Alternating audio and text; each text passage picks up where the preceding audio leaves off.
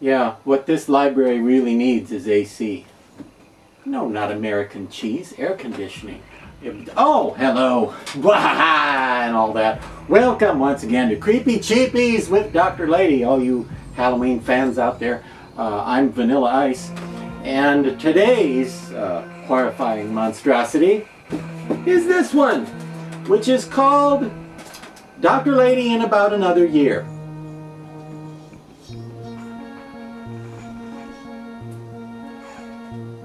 Let me let me check. Is it uh, is that what what does it say on on the there was a tag on this? What, what did it say? Oh oh it said something different. Oh okay. Start again. Today's mask, which is called Grandpa from Texas Chainsaw Massacre 2. Yeah.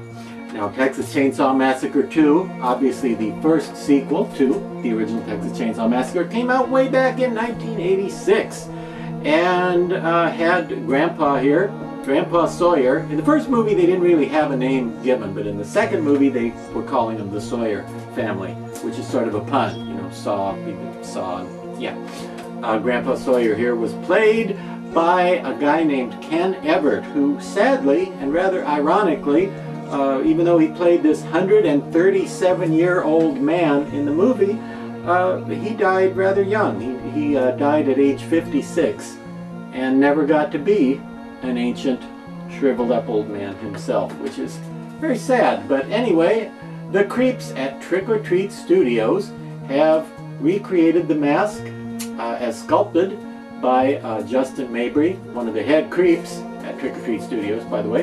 Designed originally for the film by the legendary makeup artist Tom Savini, worn by Ken Evert, and then resculpted for you in, uh, when was it, about 2016, I think? Is that right? When did this one come out first? Was it 2016? He's, he's, yeah, he doesn't remember. He says he forgets quite a bit these days. He's not sure if it was 2016, 2017, eh, somewhere in there.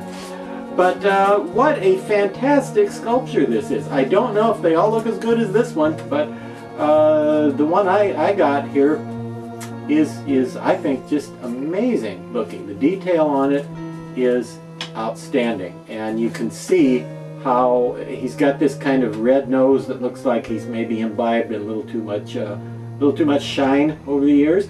He's got a little bit of little sprig of hair right on there, just like in the film. He's got some uh, unpleasant skin condition going on, either some, uh, what is that, psoriasis? Is that what that is? I'm not sure, but he has something uh, that he that he needs uh, needs to seek medical treatment for. I think. Fantastic detail, and one nice thing about this mask is that uh, he sells for about 60 bucks, which is not bad at all for a full head uh, with a neck and a mask that uh, you know displays this well and looks this good in the collection, and is even based on a Tom Savini design from uh, a good, disgusting, and sick and twisted movie from 1986. Uh, now, as far as what you would wear with him, if you were going to wear him in the movie, he wears a dark suit, like a, a you know, um, like he's going to um, a formal affair, like he's going to a funeral or a wedding, or say he wears suit and tie, a white shirt and a necktie. But uh, since he's such a good generic old man, in addition to being such a good version of that specific character of old 137-year-old Grandpa Sawyer, uh, you could also just put uh, really any kind of clothing on him and use him as a creepy old man, and uh, not everybody is going to associate it with that movie because he's just a good all-purpose creepy old man, which means you could put him in, uh, you know, a, a, plaid flannel shirt and uh, uh, blue overalls like OshKosh B'gosh, you know, over or anything, and make him look like a creepy old farmer or something. Um, I, I'm, I'm undecided on the hair. What do you think? Should I uh, should I ask Laura to put more hair on this one, or should I leave it alone? Because this is how it how it came. Should I leave it alone, or should I have Laura put more hair? I don't know. It could go either way. Because uh, you know, it, sometimes it looks like it, it has more hair, like he has more hair in the movie, but then really it looks pretty good like like this. And I like the fact that they have the hair on there thin enough so that you can see some of his uh, scalp through it. So that's pretty realistic. But again, 60 bucks for a licensed collector mask of a very creepy character and an ultra realistic sculpture with a nice paint job. So uh, I say go for it, you know. And um, until next time, here at the Library of Horror Hotel, Uh, well, uh, just remember what they say. Statistically speaking, six out of seven dwarves are not happy.